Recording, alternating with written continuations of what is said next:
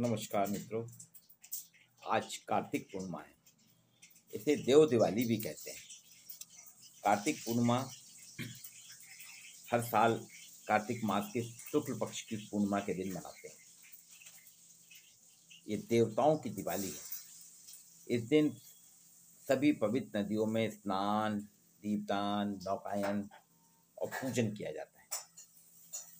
आज जबलपुर के तिलवारा घाट, ग्वारी घाट में भक्तों की अपार भीड़ लगी है। प्रयागराज में, गंगा में, काशी में, गंगा में। और भी, जैसे आपके उज्जैन में शिप्रा, नासिक में गोदावरी, इस सभी पवित्र नदियों में आज लोग सुबह से जा रहे हैं। मौसम भी खराब है।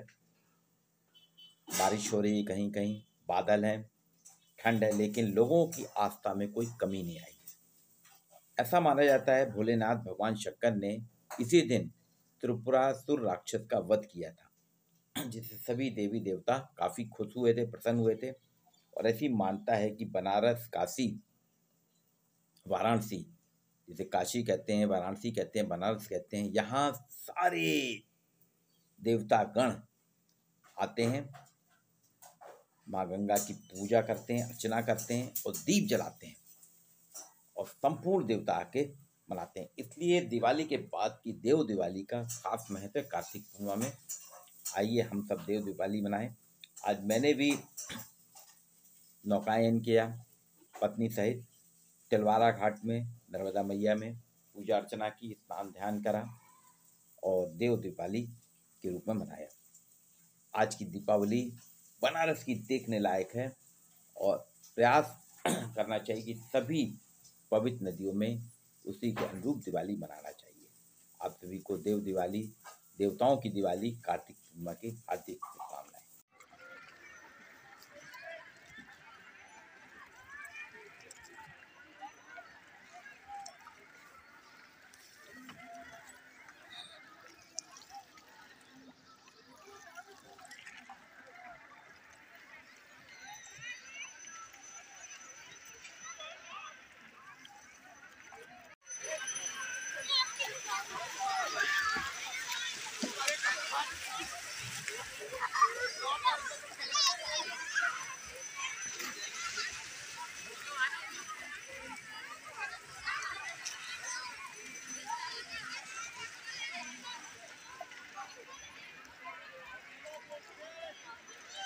बहुत पानी है?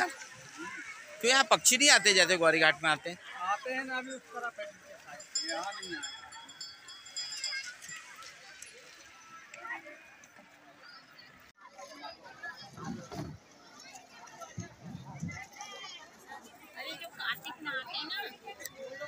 seen it.